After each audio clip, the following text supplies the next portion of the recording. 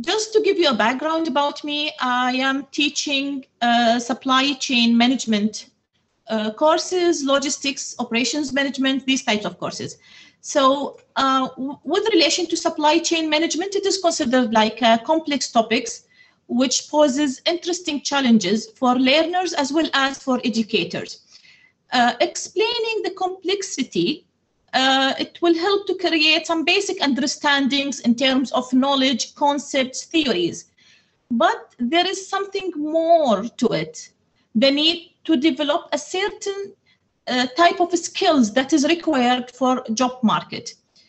An important concept in teaching supply chain management is about system thinking. It's about integration. It's about collaboration and how the weakest link in the supply chain can affect everybody else performance. Um, based on a current survey conducted by the World Economic Forum on the 21st century skills, the following skills are on the list. Uh, complex problem solving, critical thinking, also coordinating with others, people management, emotional intelligence, judgment and decision making, negotiation, and cognitive flexibility. Not surprisingly, a number of these skills are related to the complexity and how to deal with it as a human uh, interaction. Therefore, it is critical to meet the need of the students employers, society through developing collaboration, uh, through developing uh, reflection, through creating like lifelong learning skills. Um, I used one of active learning technique. Uh, it is called immediate feedback assessment technique. And this technique is considered as a competency-based collaborative learning uh, technique in which immediate informative feedback is provided to students by their peers and colleagues and through an uh, instrument that is um, previously designed. Okay, so a student in this case will not stop answering the questions. Mainly it is multiple choice questions with four answers until they had found the correct answer. So here, if we say, for example, for a multiple choice question test with I with uh, four options, a student would receive a full credit if the star appeared in the beginning or at the first scratch. Then if not, if they didn't get the, um, the, the star from the first uh, time, they will keep trying four times until they get it. So every time they will get like a portion of the grade. If they get it the second time, then they will get maybe 75%. The third time, it is 25%. And of course, if it is the fourth time, they will get zero. That means they uh, used all the alternative uh, they have. Uh, so here for um, uh, immediate feedback assessment technique, it is considered an excellent way of becoming even more engaged with the topic and it provides a lot of fun while learning. I remember when I first used this technique, I didn't have these scratch sheets. So what I did is that for each question, I created um, like uh, tiny uh, paper cuts where I have stars and I float it and I write, for example, A, B, C, D, and the one with the correct answer would have will have a star in it. You can imagine uh, the handcrafting. I, I, I kept working, like doing cutting, writing, and and I have to do it for multi uh, groups. Like um, for each session, I might have around 50 groups. So I have to repeat that process 50 times for five or 10 questions. So it is like, it was like time consuming, but uh, I mean, I was happy because I saw my students happy. I saw my students engaged. I saw my students like doing quizzes. So um, I did it like several semesters. Then I uh, requested when I saw the improvements in students' grades, and so I requested uh, these um, uh, immediate feedback assessment techniques sheets. And uh, thanks uh, for the college who bought these uh, sheets for me and the fun now is becoming more because i'm focusing on the, the questions and the engagement more than spending time just creating the sheets myself um, so for the uh, this technique, the uh, literature shows that uh, with the uh, ability to measure students' um, knowledge. So here there are a lot of advantages uh, with the um, this technique. It facilitates students' active involvement, involvements and learning through the ability to measure students' partial knowledge since the students will uh, will answer some of the questions correctly and some of them they will learn how to answer them correctly throughout the process also to obtain the feedback on uh, the item by item basis so they don't have to wait until i finish marking the, the, the, quiz and then come back one week later with the correct answer. Um, the discussion itself also, the literature shows that it shows their motivation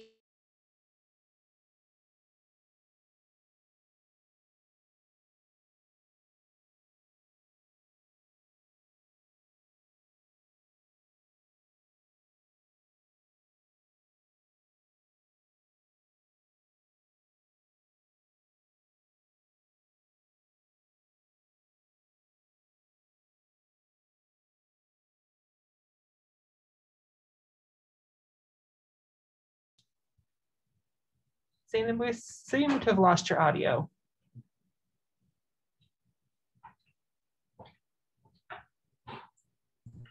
I think she's frozen. We might have lost her altogether. Yeah, We'll hang tight just a minute. She's halfway around the world, so. I know, huh?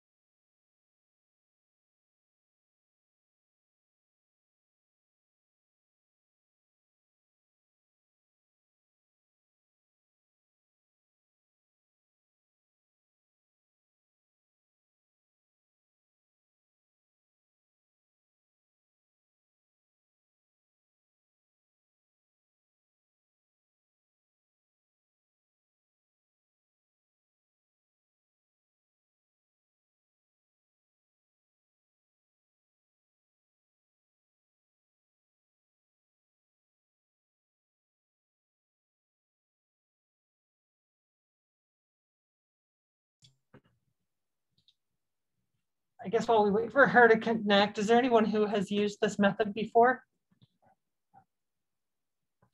Media feedback?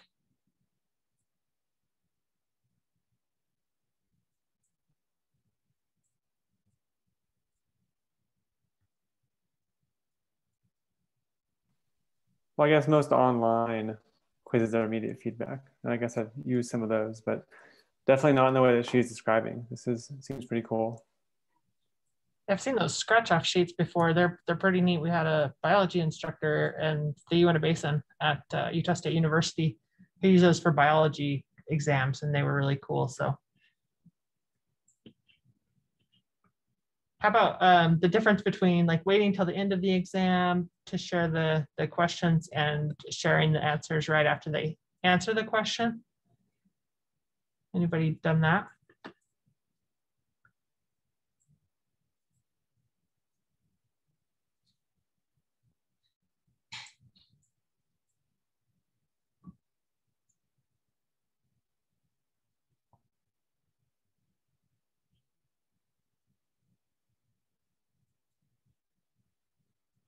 At Utah State University, we have implemented a tool called Atomic Assessments. And it will, it runs in Canvas um, and it will allow us to do that very same thing. So they can um, take a shot at the question. If they don't do well on that question, they can try again. Um, the instructor can set how many times they can try that question. Um, so if, if it's a multiple choice question, they can do it, you know, three or two times. Uh, and also um, you can set on there if you want to allow students to be able to take the entire assessment again. So kind of a neat thing for students to be able to get feedback and knowing what they got right or wrong. Um, that, that system also allows for adding uh, in comments about each of the individual answer choices. So if there's something that um, you don't um, think that students will get, or they might be tempted to choose a certain answer, because it looks really similar to what might be right or what could be right, um, you can use that as a, a, a reteaching moment um, to give some additional information or to tell them to look at a different place in the textbook so that they can get some information uh, and, and learn more about that topic if they missed it. I think for some students, when they have like quiz anxiety or something, this helps because if they have a little win, if they get some of those questions right, it can help them feel better about uh, what they know in the, the chapter and can help them kind of give them encouragement along the way to be able to do that next step.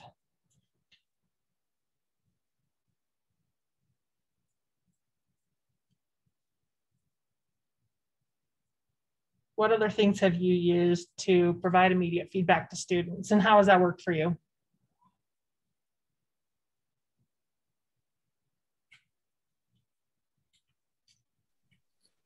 I guess for me, mostly it's just like online based stuff, like the online homework for, I'm a math instructor, so um, that works pretty well. I don't only rely on online, but incorporating that can be helpful for the immediate feedback. I haven't done it for for tests though. So do you strict, uh, teach strictly online or do you have face-to-face or other types of classes too? Face-to-face. Mm-hmm. Okay. So um, math, that's one of those where you have students a lot of times maybe come to the board to work problems. Do you do that kind of thing in your class? Is that helpful? So I have. I am not doing that this semester too often. That we we have one day a week where it's like um, homework day, and which is optional. Um, and in those classes, yeah, we we do things like that. But for the most part, on a day to day basis, I don't do that. And what about Nikki or Sarah?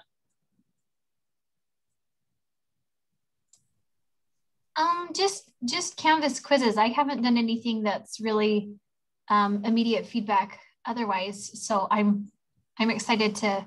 I have taken notes that I need to look more into atomic assessments and how I can use it in my in my course. Awesome. So it looks like Zanya or Zanya, sorry, I keep saying your name wrong, has joined us again. Let's see if her audio is working now. Uh, hi, I already finished with my slides, so I'm not sure when it did disconnected. Oh, no, no. Um, let me think which which slide it was on. Um, oh.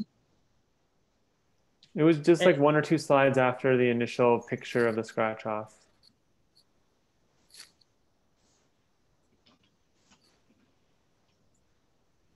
Oh, I have been talking to myself all all this time. So, so it was. Uh, uh, which slide? Sorry. It was, was the it? quote from um, It was a reference from 2017. From the Okay, literature, so, if I remember right. oh, okay. So do I have a chance to just go over it again? Yeah, let me remake you the co-host. If you want to try and share your screen again. I didn't get any notice saying that I have been disconnected. I was on my PowerPoint slides and suddenly Oh, just. sorry, Yeah, we tried to talk.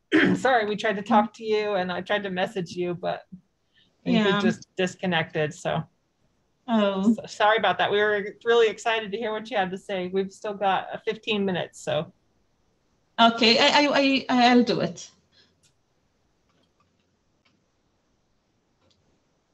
So. Can you please give me the permission to share my slides?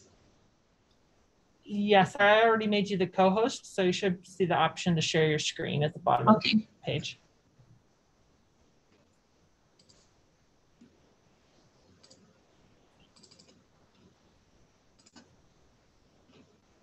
There we go. okay.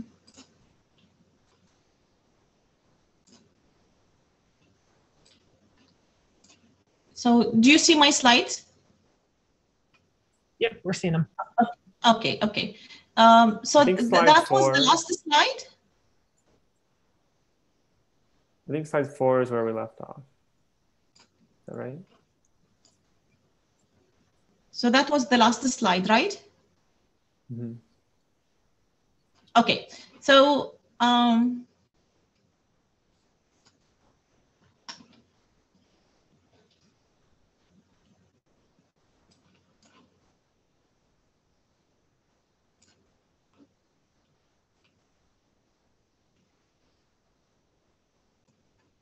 okay. Um, I'm, I'm not sure if you heard the story of how I did start with the um, immediate feedback assessment.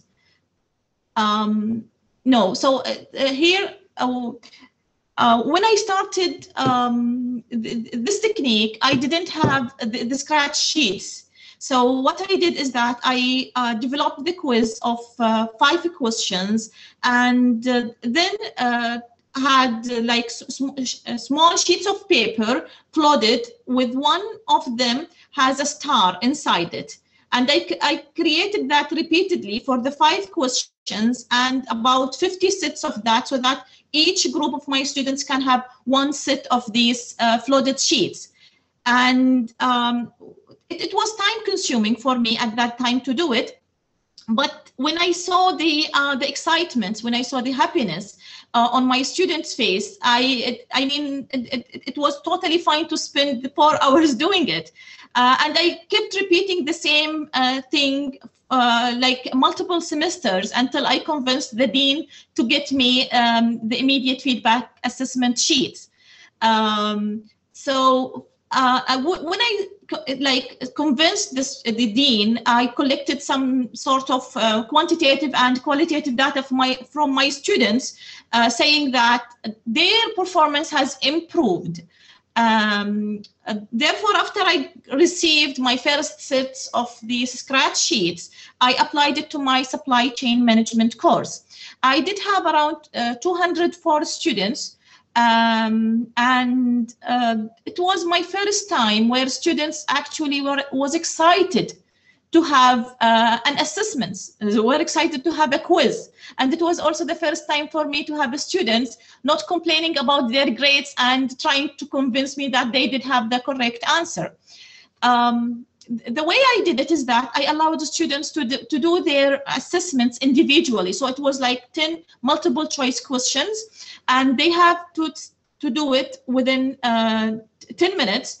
And then uh, after they do the, the assessments individually, I allowed them to sit in groups of four students, some of them four to five students, and then I handed the uh, immediate feedback assessment sheets the scratch sheets with them and they started going question by question discussing the answer trying to convince their peers smiling laughing. It was the first time that I have students talking to each other and trying to convince, laughing. That it was very loud in the class, but everybody was happy. Even when they get the, the wrong answer, they was happy about it because they said, okay, we learned something. And um, it, it, it was fun. It was in, they said they enjoy it. It was interesting. They, they I, I got very, very uh, advantages reported. They uh, eventually improved their grades. They were very relaxed and less stressed uh, during the assessment. So um, uh, what I noticed that uh, uh, that students' uh, uh, performance has improved um, to, to, a, to a great extent to a great extent from some of the students from getting an, an F or a, a D in the assessments to get, for example, uh, C plus or uh, B minus uh, in that assessment. And it happened all just through learning from each other and discussing with each other. So here I do have uh, some uh, of my students um, notes uh, after the um, or uh, some of their thoughts after uh, doing the the quiz. So one of the students says we learned from each other and be we were very confident about our answers. It is very beneficial and we want this exercise again.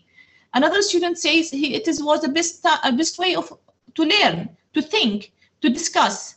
In this way, we share different opinion and it was interesting um, another student said it was i like it so much. It was fun. I have we hoped we can do it again. Um, another student say i like the way of the quiz and i enjoyed it a lot. Uh, great communication and discussion between group members high chance to get more points. So uh, students were, were very very happy about their performance, about their activities. Many students highlighted that they had constructed a new knowledge, uh, a, new understanding to the uh, subject, to the content they have uh, been examined. And they practiced several types of uh, skills during this assessment, um, negotiation, um, discussion, time management, and so on. So the learning benefits of the immediate feedback assessment components uh, of the team assessments were widely acknowledged by uh, the students. So um, they were very, very happy about it. Myself, I believe that applying such te uh, techniques in teaching supply chain um, is very, very critical in preparing students to deal with uh, real life supply chain challenges and the corresponding complexity, um, creating like or preparing brains that will master supply chain because managing supply chain in real life is very, very complex as I indicated at the beginning of my presentation. So um, the first thing to be aware of uh, is the role of the teacher in this learning process. Al Albert Einstein once said that he used to say that uh, rather than teaching his students, his objective was to provide them with the condition in which they could learn. And that was my aim for my students. Um, um, I tried to teach them the concepts, but for me to teach them how to uh, learn from each other, how to become lifelong learners, how to be curious about things and start digging for answers. I try to provide them with the uh, environment uh, that they will um, uh, create the environment for them to in to build in these types of skills that is required for contemporary uh, businesses and um, uh, especially in supply chain management. So um, that's all. I tried to sum up my presentation. Of course, this project um, uh, actually uh, out of uh, of this project, I collected some quantitative and some qualitative data as well. And um, uh, uh, the qualitative parts of this project, uh, hopefully I will get it published in one of the academic journals. And um, uh, so I try to discuss the qualitative part of it. So if you have any question um, or anything to discuss here, uh, please let me know. I have a question. Yes, please.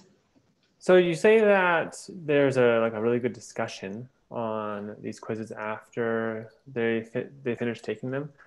Uh, I'm curious how or exactly what the students are discussing if they already know what the correct answer is. No, um, they don't know the correct answer. Okay. Okay, so first individually, they solved the 10 question multiple choice questions. They did it individually. So they don't know what is the correct answer. They don't know if the, the answer they selected is correct or not.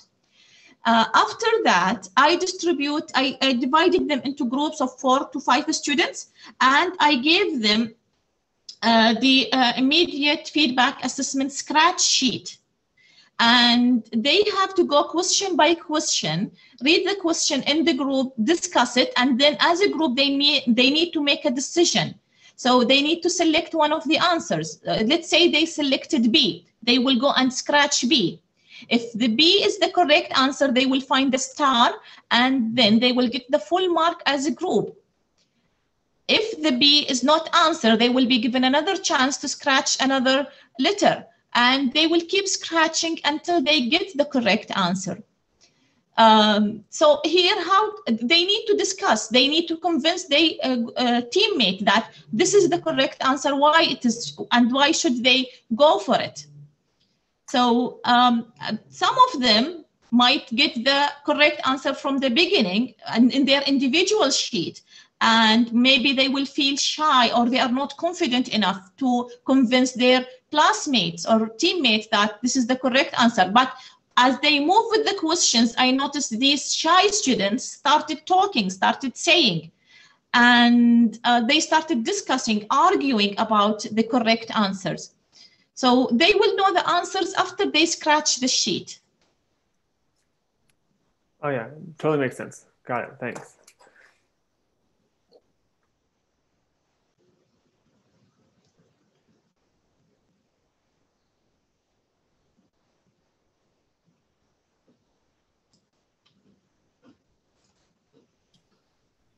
It looks like Mark has a question. He says, sorry you joined late. Do you find that most of your students have experienced similar feedback techniques in their prior educations, for example, in high school? Uh, no, uh, actually not even in their uh, college uh, teaching. So uh, it was the first time to go through uh, this experience.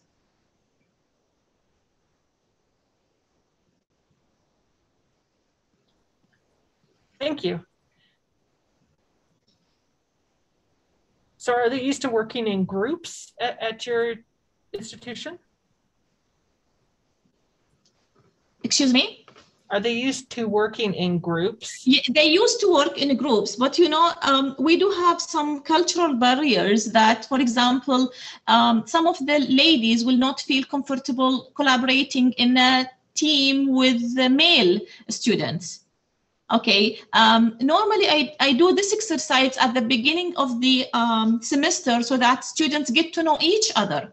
And they, because they have to work in, the, in, in a group eventually for their projects, either the written paper or the presentation. So they, yes, they do work in a group, but it is not uh, in the class. They, they have to work outside the class and present their paper like a presentation or a paper to me, but I never had the chance to see them discussing or uh, working together on a, a task. So do you keep them in the same groups for the whole term? Um, that's what eventually happened. After this exercise, they start they uh, stick to to each other. Normally, most of them will continue with the same uh, group till the end of the semester. Oh, that's awesome. We have about five minutes left for questions if anybody else has anything.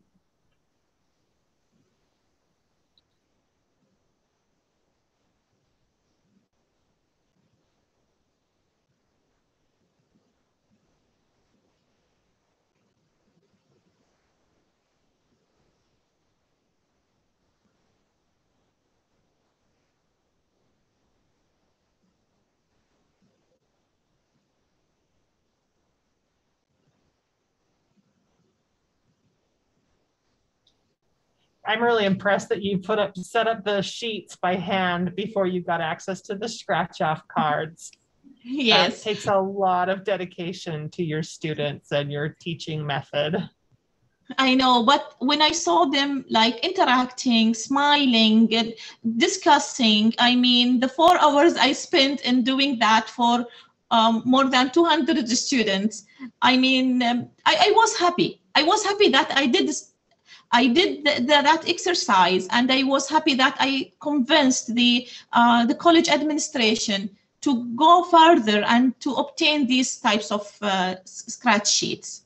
I mean, without this trial, nobody will even know about this technique and nobody will believe that it will have a positive impact on students' engagement, active learning, and or eventually students' performance.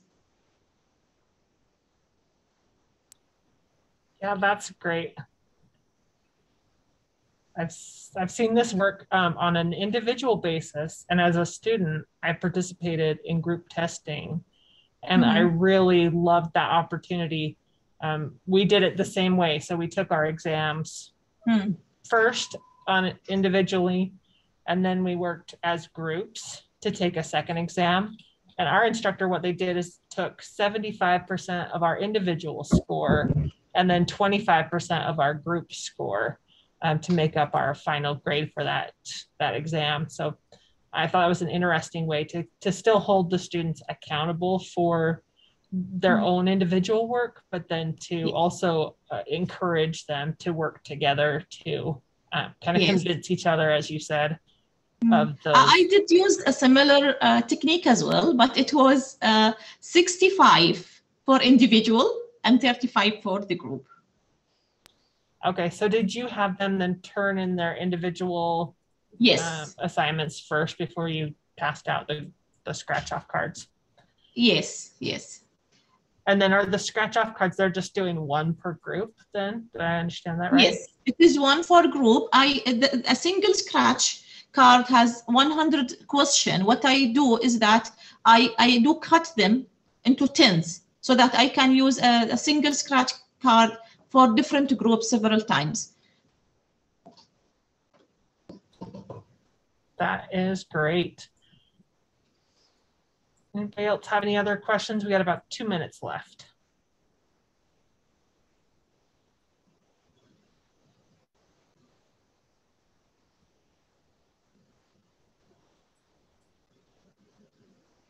Then we'd really appreciate you staying up late and presenting on this topic today. It's been nice to hear from from somebody with a, a different um, perspective and on this new strategy that a lot of people hadn't heard. So thank you very much for sharing your thoughts and ideas with us today. Oh, thanks for being here and attending my presentation. Have a great evening. Yeah. Yes, thank you very much. Thank you.